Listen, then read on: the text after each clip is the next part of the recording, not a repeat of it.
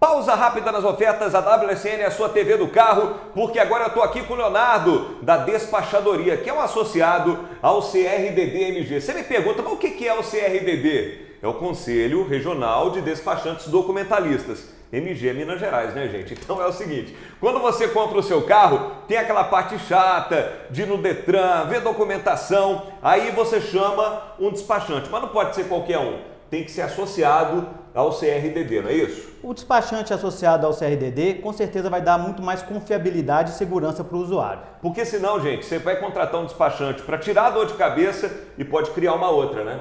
É, isso pode acontecer, né? É, hoje os despachantes, todos os despachantes de pontas de Minas Gerais são associados ao CRDD. Agora, como é que eu sei que um despachante é associado ao CRDD? Olha, você tem várias maneiras. Uma das formas é estar tá ligando no conselho, é, verificando no site do conselho também. É, e exigindo também do próprio despachante uma credencial é, conforme essa aqui. Ó. Nós temos aqui uma credencial que pode ser usada pelo despachante e a carteira do CRDD, que em todos os processos que estão dando entrada nos Detrans e nas Ciretrans de Minas Gerais, ela exige que, que tenha esse, esse, no processo a carteira do CRDD. Inclusive, no site do Detran tem uma nova modalidade que quem é associado ao CRDD já tem mais a manha, já tem a facilidade, né, Leonardo? É, tudo que é de tecnologia, né, de lançamentos, é, você hoje está disponível no site do Detran e os despachantes CRDD, eles têm acesso é, simultâneo. Agora, para quem quer contratar o seu serviço aqui da despachadoria, como é que faz?